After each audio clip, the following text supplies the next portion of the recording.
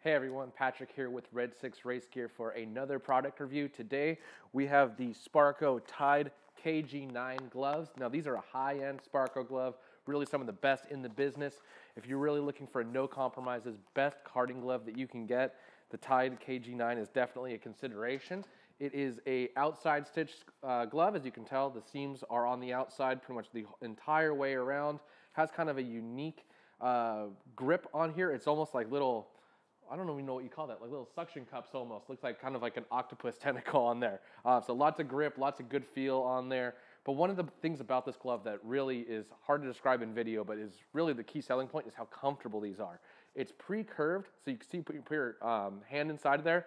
It has a nice curve to it. It's like ready to grab the wheel. And what's great about that is that when you do grab the wheel, it doesn't really bunch up right here. If you have some of the lower end gloves that are just kind of cut flat, so you're so it's designed to be like that, it'll bunch up when you when you grab the wheel a little bit and kind of create some excess material. This glove doesn't do that. So you can see when you have your hand straight, it's kind of bunching up right here on top of the fingers because that's not the way it's designed to be because your hand's never going to be straight like that when you're in a go-kart grabbing onto a steering wheel. So comfort is the main point of this glove. It's got some padding here on the knuckle as well as on the wrist just a little bit.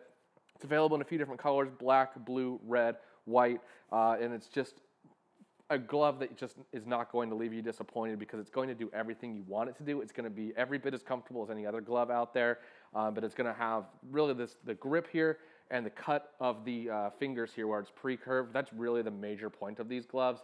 It's one of those deals where if you get a lesser glove, what it's going to be doing, it's going to be saving money by just not having as much technology in it as far as the way that it's designed, the way it's cut, being super custom as far as what it's designed to do you know, a $60 glove is going to work just fine for most people. It's just not going to have that little tiny bit extra, and that's what you're paying it for extra on these Tide gloves. These are going to last you quite a while. Um, no glove's going to last you forever. That's something that I always like to point out is that a glove is designed to be an item that does wear out after a season or two, depending on how often you wear it. So don't be surprised. Any glove on the market when you buy it, it's not going to last you 10 years. That's just not what they're designed to do.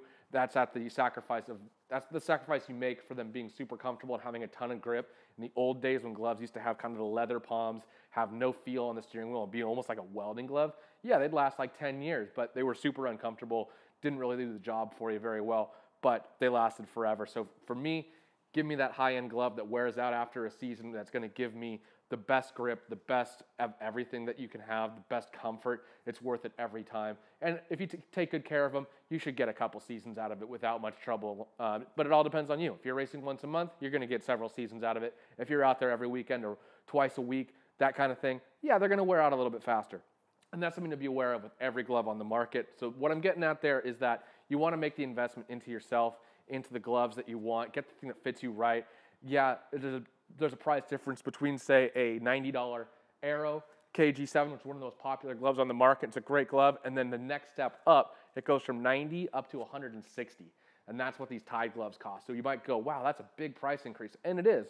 But you got to really try it on to understand. And it, you know, nobody can tell you what the right glove is for you. But to me, these are totally worth the money.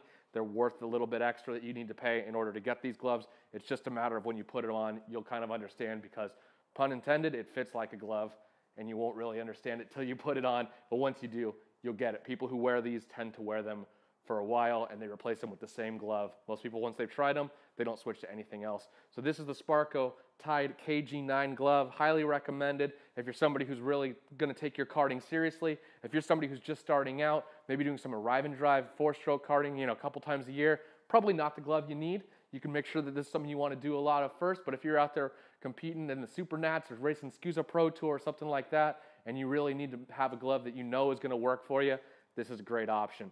So this has been Patrick with Red 6 Race Gear. Thanks for tuning in.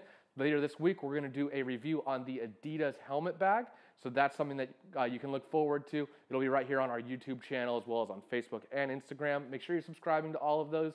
We have different content floating around on all of our social media, so you don't want to be missing out on any of that. YouTube, Instagram, Facebook is our main ones. And we do have a Twitter account as well. So that's going to be a little bit more of a fun one uh, designed to uh, show people kind of comment on races, that kind of stuff. So for more of these product reviews, YouTube's where you want to be. So make sure you're subscribed. Thanks for tuning in. We'll see you soon.